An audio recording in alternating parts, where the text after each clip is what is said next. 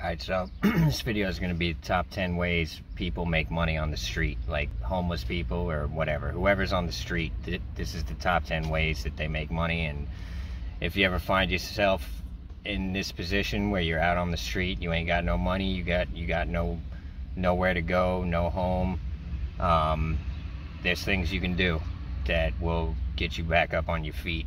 Um, you know, none of these are really a, a, like career advice. I wouldn't, I would, I wouldn't suggest living like this, but um, you know, when you're out on the street, you have to make money. You, I mean, it's that's just the reality of the situation. Street survival is not like surviving in the woods. On the street, you ain't hunting food. You're you're make you got to make money, dude, and um, it's not easy, you know. But um, and you'd be surprised at, at who's who's successful at it and who isn't. Like, you'd think like the thug types that are like tough as fuck, like gangsters and shit. You'd think they'd be able to just go out on the street and make money. Like, no. A lot of the time, all they really know is like violence, and it's like, if if all you can do is beat people up and rob people and shit, that'll get you by for maybe a couple of days. But you ain't gonna be able to live like that because eventually you're going to make a whole lot of enemies and, you know,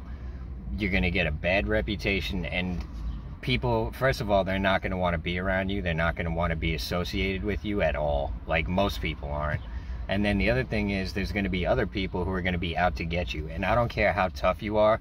Like sooner or later, you got to sleep. And when you're asleep, anybody can can take you out. That's why you, you got to be careful making enemies on the street because most of these people if if they want to find out where you're sleeping, they are going to find out. It's there's no, I mean, unless you got a deep hidden spot, which I've been in those too. But the, there's like you you don't want to go trekking two miles into Central Park every day to, to, to go to go to your spot to go to sleep. So eventually those spots get old, especially when you're carrying a lot of weight. But I'm getting off the topic. So imagine this scenario: you're you're broke, you're homeless, you've been evicted it's like what do you do so the first the first and easiest way to make money is basically it's just flying a sign so um, there's pretty much two ways to do it you can either try to kind of be funny or you can kind of like look for charity you know it's like um,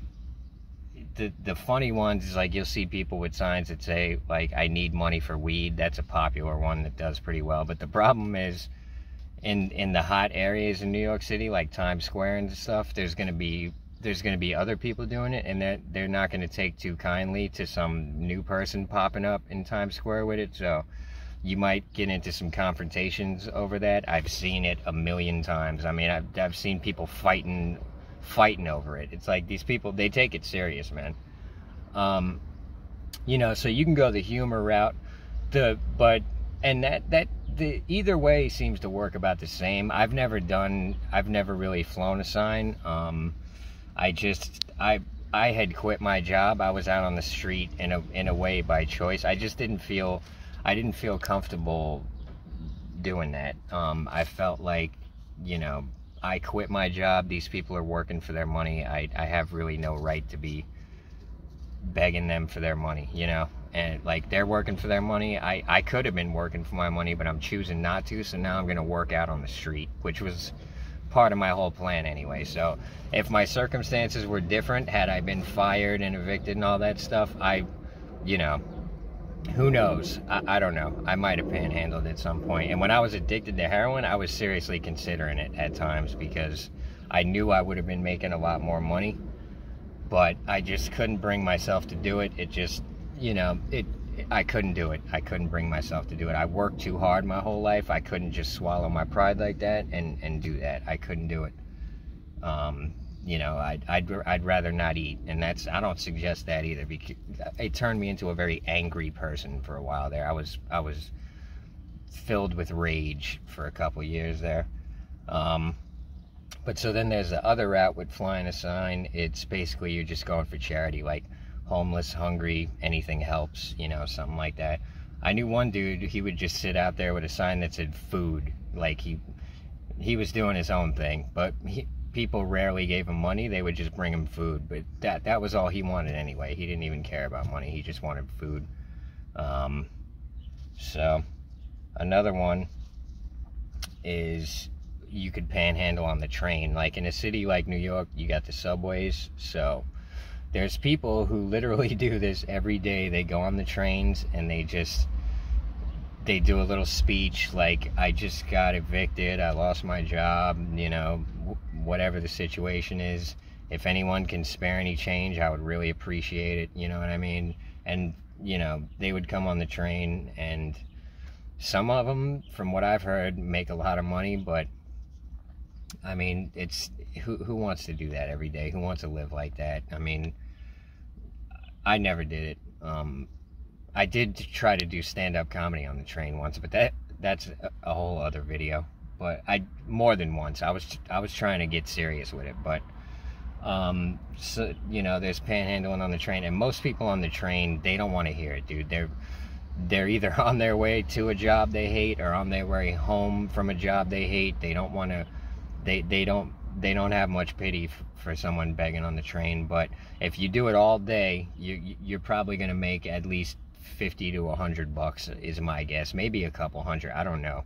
You know i knew people who claimed they made a couple hundred but these are people who are like they've got like they they're they're like career con artists in a way. Like there was one kid he had a backpack with a dog in it and he said basically he just wants money to feed his dog and i knew it was bullshit but I mean, his his act was so convincing. I almost gave him a fucking dollar. I'm like, oh, his dog needs food. Then I'm looking at him like, this kid's on fucking dope, dude. I'm not fucked all that shit. Like, how expensive is it to feed a fucking dog, you know? But so he was basically, uh, he was killing it. he was fucking killing it. He was asking like, just hitting people up for for money to feed his dog, and people. They don't give a shit about people, but they do give a shit about dogs. They'll give you money to feed your dog, but they'll let you starve to death and die. But so, um, trying to think of another one that was. Oh, you know what else people do on the trains is they sell DVDs. Now I'm not sure if that is even a thing anymore, because nowadays everything's like people people don't even have DVD players. Although I guarantee in the ghetto and like certain parts of the city, they're still rocking DVDs. I I I, I can almost guarantee it. Um, but like yeah, so what they do is they'll pirate the movies off the internet, cut, burn it onto a DVD, and sell them for a couple bucks a piece on the train. They make a lot. They used to make a lot of money. Nowadays, I don't know, because you know people are on their way home from work. They want to watch a movie and chill, like, and they're getting like brand new movies, like whatever's out right now. They've got it on DVD, you know. So that's another thing they do on the train. Um, another thing they do on the train is you'll be sitting there on the train and you'll hear all of a sudden it's showtime and everyone's heart just drops because most people they don't want to fucking deal with this shit so these kids will get on they'll start blasting this music and dancing all over the fucking train i'm talking about they're ricocheting off the walls and shit they're knocking into people like most people on the train hate it but some of these kids are doing some impressive stuff. They're walking on their hands on a moving train. They're doing back flips, front flips. Like sometimes they're just so good at it, you got to throw them a buck just for like. You just got to respect the athletic abilities. You know what I mean? Like some of these kids are doing some cool stuff. But in the beginning, every time I'm always like, nah, I don't, I don't want to hear this shit, man. Get them off the train. But sometimes they'd even get me because I'm like, that that was impressive, dude. You know, like I seen a kid walking up and down the train on his hands. These trains are stopping. They're going like they're hitting 60 miles an hour. This kid's walking on his hands. I was I was impressed. Um, so another one is selling water. Um, you know, all you got to do is buy a case of water, cooler, put some ice in it, and go sell water. But the thing is, people in uh, like I can't speak for any other city. I, I'm I was in New York City, so in New York City, people are are territorial. So you can't just go set up anywhere and start selling water, selling water or doing anything. It's like if you go to a spot and there's there's already like street performers working there, or there's people selling water there, or there's someone panhandling there. It's best to go find your own spot. You don't want to go getting stepping on anyone's toes and some people take it very seriously. I used to take it very seriously like you just you don't want to just show up in someone's spot brand new and start doing some shit because odds are whoever is in that spot they know that spot they know all the people around there and you're not you're not going to win you know what i mean? Like unless you're whatever if you want to go around making enemies like that that's your business but when I first started doing type these types of things on the street in New York, I was very careful about my spots. I didn't go stepping on anyone's toes, you know what I mean? I went and got my own spots, you know. So but yeah, selling water is you know, you don't want to make a career out of it. It's not going to work in the winter. Ain't nobody buying no water in the winter. Um, the other thing is the park rangers and the cops in New York City, they they they don't like it. They they don't want to see people doing it, but sometimes they'll ignore it. It all depends. Some people, some of the cops are gonna they're gonna mess with you, and some of them aren't. Some the park ranger park rangers, on the other hand, they're gonna mess with you like 99.9% of the time. They don't want it in the park, and none of the street performers really want you around them either. Like the street artists and the musicians, like they all kind of look down on the people selling water. No, nobody wants that shit around them um, because it's like it's usually a big chaotic scene. I've seen we used to call it water wars in Central Park where I was at because all the people would come out every summer and they'd be fighting and battling each other and stepping on each other's like setting up right in front of each other like all the regulars in there, the street artists and performers, we did not want the water people around. Although some of them we kind of got along with, you know, but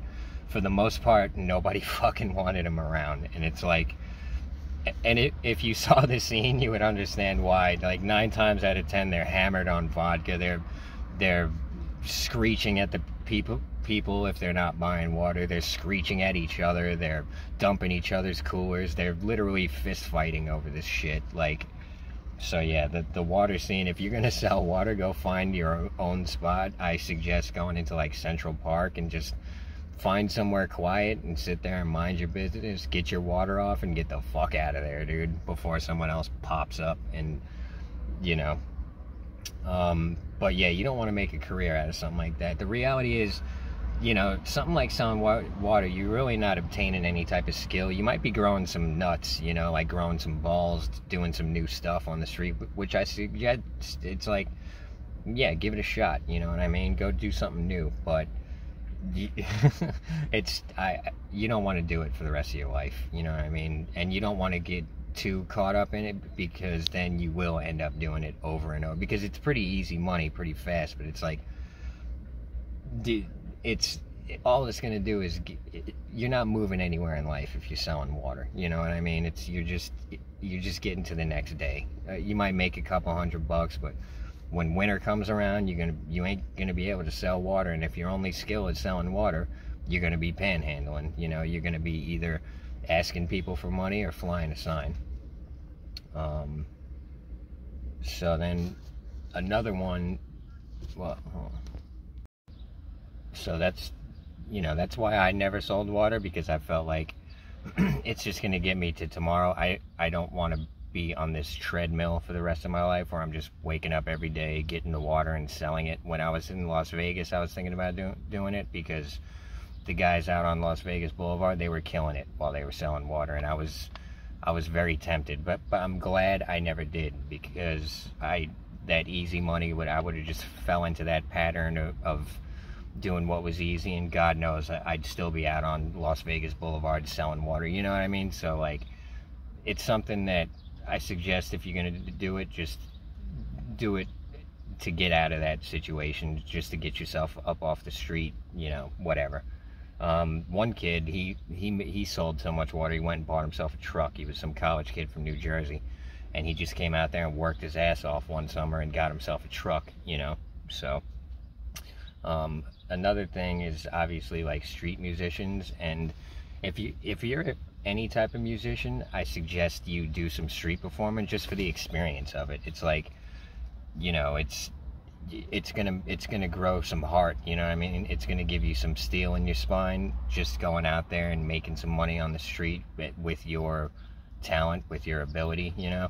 So I suggest anyone who plays music sh- should at least try street performing because it it's not easy to do. You know, like it's it takes it takes some balls to do it. So if you're a musician, I don't care if you got ten million dollars, you should you should give it a shot. I would say because it's going to be good for you. You know, just do it for one day, give it a shot. Like why not?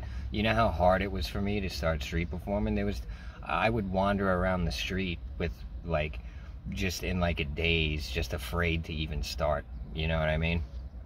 So, you know, street musicians, and it's a respectable thing. Everybody got respect for it. It's like, and, you know, people play the buckets, they play the drums. Um, there's, that's one thing people don't take too kindly to, though. Like, if you're to be doing the drums or the buckets, you better separate yourself from the other street musicians. Like, and just altogether, you just, you don't want to be around any other street artists or people, whatever they're doing, they don't want you sitting next to them banging on a bucket. You know what I mean? So go out to Times Square, find yourself a spot, and you know, you don't want to be doing it on top of other people. And that's street musicians in general. They don't want to be on top of each other. Where I used to work in Strawberry Fields, the, the, the musicians had to set up a list because other than that, they were just coming out there, and whoever whoever got out there first started, and it's like at first there was no system to it, so it's like other musicians would show up and set up right across from them and start playing, or set up right at the front and start playing, and it's like you're you're fucking with somebody's livelihood. People take it serious. To this day, there's this one dude James who there's video there's videos on him of him on YouTube going off on like screeching at the tourists for not paying. I mean, he's a good, he's a he's a talented musician, but the guy's such a nut job that like he would he'd start screaming at the people if they weren't tipping him well, and like he was a character, man. But so he was a big issue out there. He even got to a point like he, he was on the list, but then a couple years went by and he was angry at all the new musicians getting on the list, so he would just show up and start playing on top of their set because he just had no respect for them and like it was a big issue and like he he ended up getting pretty much banned from the whole area because everyone hated him. So you know, you don't want to be acting like that. Like whatever you're doing on the street, you don't want to be acting like that. James was staying in an apartment. That's why he, he could kind of get away with it. If he was staying on the street, he, he would have had some issues, you know, like because he would have been such an easy target. People would have found found out where he was sleeping, and he, he probably would have been dealing with some with, with some stuff. He would ended up getting ran out, which is what ended up happening anyway. Like he, he he pretty much. I don't know how it is nowadays, but it got to a point where he was never around because they weren't even putting him on the list anymore. And it's like, you know, I don't care how tough you are when you got 10 other people against you and you're you're not going to win. You know, um, you can you can only fight that battle for so long. But so yeah, street you know street performing music, man. People people make a lot of money doing it, and and it's the better you are at it, the more you're going to make. And some people sell their CDs. There's a guy in Washington Square Park. He used to play the piano. He would kill it. He'd make so much money, dude. Um, I've seen bands out in Washington Square Park where they're selling CDs all day while they're playing their music and absolutely killing. I'm talking that hundreds, maybe thousands of dollars a day. They're just they're killing it because it's like if you're good at what you do, people are going to recognize it and you're going to make money.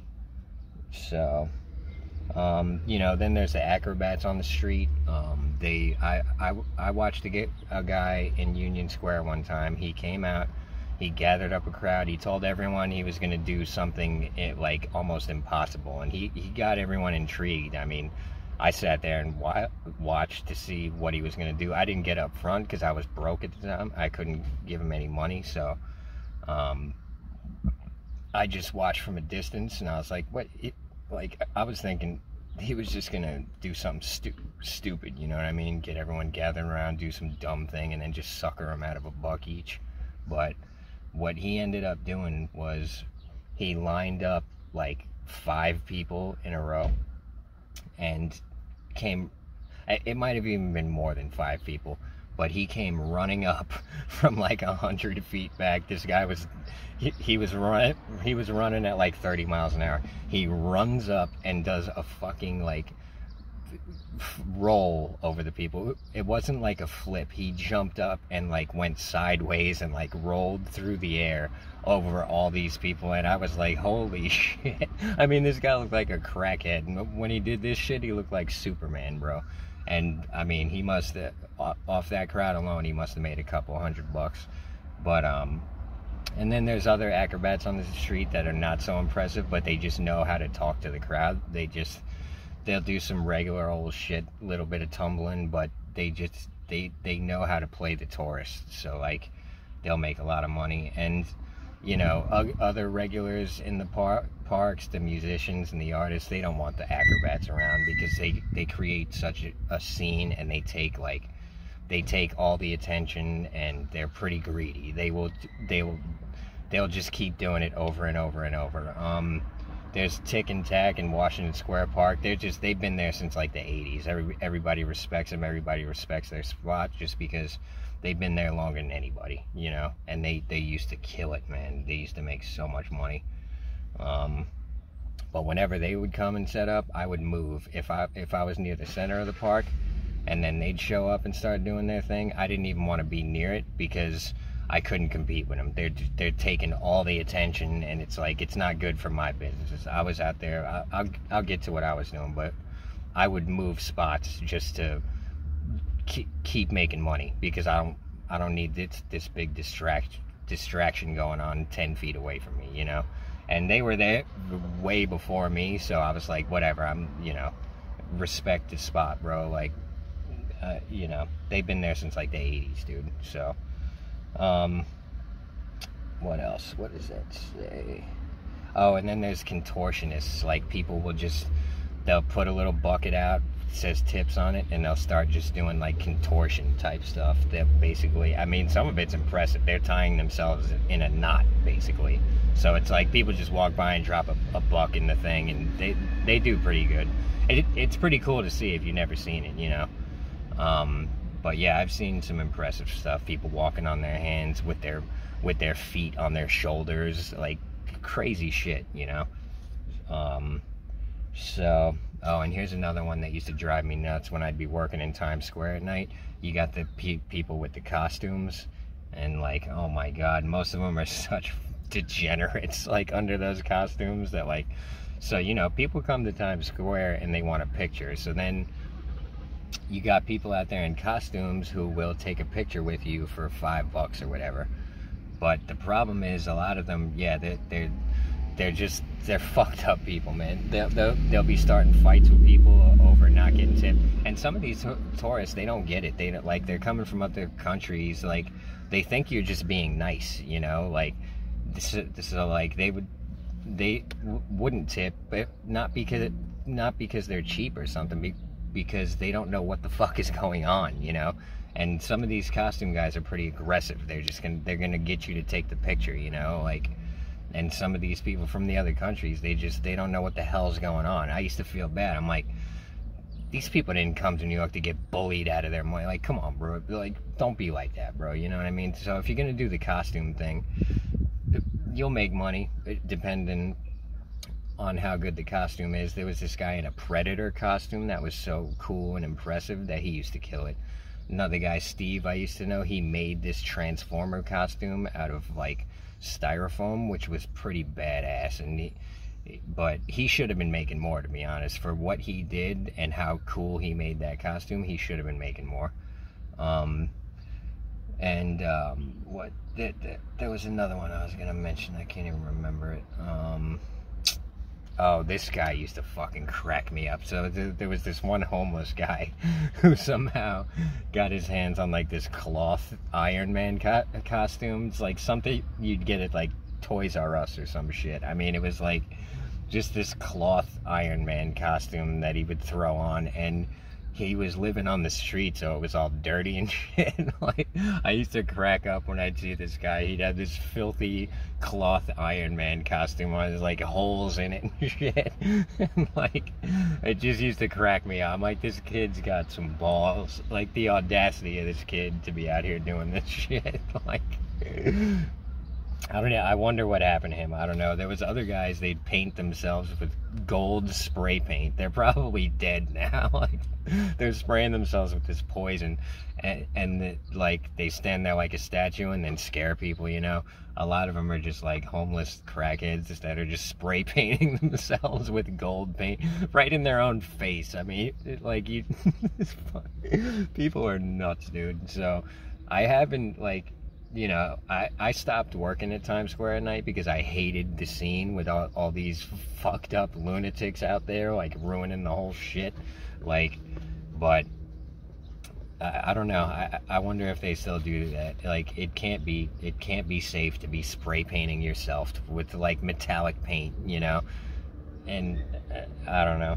Then there was the Statue of Liberty guys, but yeah, the thing with the costumes is the more work you put into it, the more you're gonna make. And obviously, you want to be nice to the tourist. Like, you just you, you kind of got to be a people person. You don't, and I don't even know how it is now. I know the cops started cracking down on them because they were all fighting each other. They were getting in fights with the tourists, and they were just making a, a ridiculous scene that like you got you got to take into consideration that these people these people are, are on vacation with their families and shit you're starting to fight with him over five bucks. Like, come on, bro. Like, you can't be acting like that, man. You know what I mean? So that's why I stopped even working in Times Square. I got tired. I, I just got tired of seeing this type of shit. Like, I didn't want him fucking around me. I didn't want to be associated with it. I, with it. Like all the I need money for weed sign guys getting in fights and shit. I was like, forget all this shit, bro. I'm I'm gonna find another spot, you know. So Another thing is making jewelry. You can go get beads and fishing line and make jewelry. Like, pretty easy thing to get off. The more artistic you are, the more you're gonna make, you know. And I feel bad. There was this guy that used to sit with his jewelry right by me, and then one day I was just like annoyed, telling him like, "Man, you're a grown man doing some shit a 16 year old girl should be doing." Like, man, get the fuck out. Like, you know, just being a dick. That I felt like I felt like he was screwing up my cash flow, which really he wasn't. What what was screwing up my cash flow was my own attitude, you know. So these are things I regret. Like, you know, so if you're doing this type of shit on the street, learn from my mistakes. Don't don't don't be getting angry at people. Don't don't be rude to people. Be nice, bro. Like you'll feel better in the long run. You know what I mean? I've like back then I felt like, oh, I don't want to be a pussy, you know, and let everyone just set up right on top of me. Nowadays, I think back on it, I'm like, I, uh, I was I was being a dick a lot of the time. I don't own the park, you know what I mean? If I got such a problem with him, I could have moved. You know what I'm saying? Like I'm a what I'm gonna get in a fight and punch some guy. Like nah, come on, bro. Like I just I, I regret acting like that, you know, and being being being so angry and rude. But um, so yeah, my advice is if you're gonna be doing this type of stuff on the street, just just be cool, man, and not because you're afraid to get in a fight, but because it's better to just be cool be cool with people you know what i mean? Like that was what i was thinking is like i i don't want people to think i'm afraid and this and that it's like that's that's your problem bro that's that you can't be like you know we're not we're not fucking we're not high school kids man like no nobody's scared to fight you know like i mean i guess some people are whatever dude just be cool you know? So all right what was that making jewelry so then this this is what I was doing is um, well I was doing a couple things but this is one of the things I was doing was portraits. I can draw pretty good. Um, there's other people that just make cool drawings and sell them um, there was this one artist he just did black and white paintings which were very simple and easy to do and he did pretty good. Um, but I was selling portraits. But what I was doing that was different is my sign said bad portraits. So I would have people lined up on the benches and I was I was doing better than most portrait artists because I was doing something different. So that's another thing to keep in mind. If you want to make money, you got to be kind of original, you know, like there's tons of portrait artists out there and most of them uh, draw better than me, but my sign said bad portraits and I used to do this silly little simple cartoonish type drawing of the people and they loved it they absolutely loved it loved it like most people most people paid me more more than I was even asking for. So like you know that was one of the best ideas I ever had. And I had a good spot because by by the time I was doing portraits I had been living on the street for years. I knew the whole scene. Like people respected me. I could I could do what I wanted. And the spot I was in I was in there before anyone. You know what I mean? So I was working in Strawberry Fields in Central Park. The only the only guy who was in there when I started was Gary the mayor, and me and him were doing very different things. So we we pretty much just left each other alone. I mean, we had our issues. Everybody had issues with Gary, but in in the end, we we just left each other alone. I was on one end, he was on the other. I was doing my thing, he was doing his. Um, but Gary used to he, he used to get on my nerves a lot. But anyway, so um, so yeah, if you're gonna do portraits, I suggest you do something a little different. I'm not suggesting you do exactly what I do. You, you just be yourself. You know what I mean? You don't want to do you don't want to do like other people's ideas. Come up with your own. You know.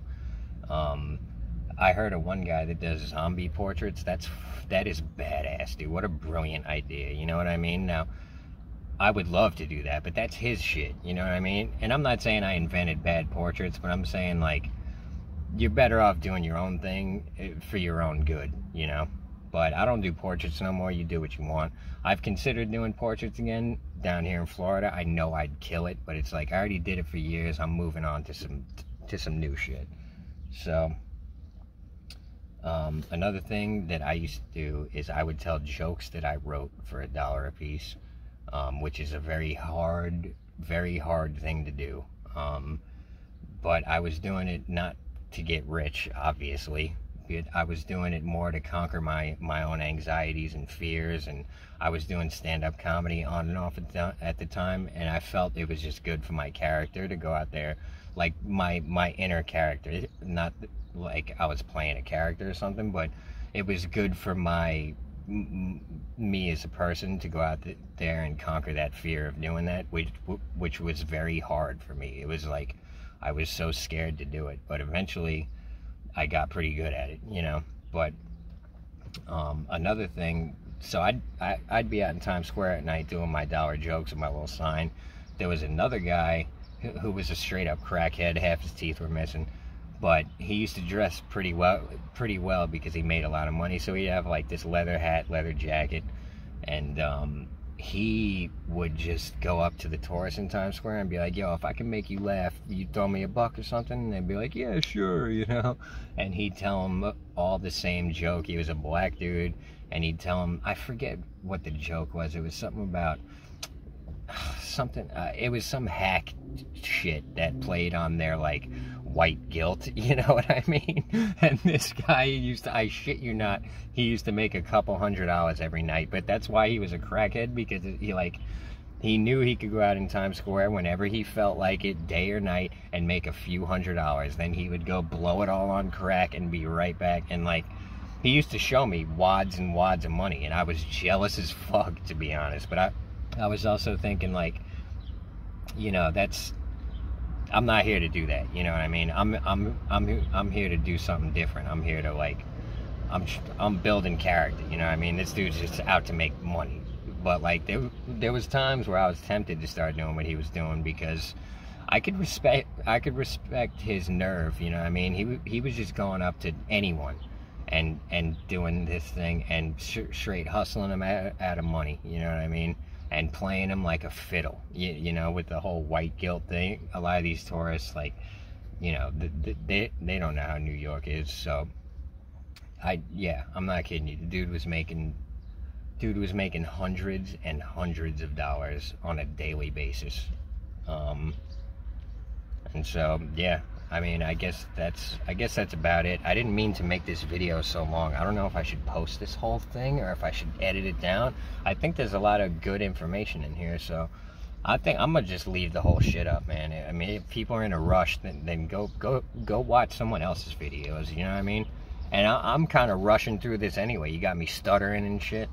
Um, but you you know, the more YouTube videos I make, I'll get more comfortable. Like I just stutter a little when I'm nervous, and I'm nervous when I make the videos and shit. So, um, I don't know. I guess it's, I guess that's about it for this. I might refilm it. I might not. But uh, if if you like my stuff, subscribe. Give me a like. Uh, I guess that's it. All right. Later.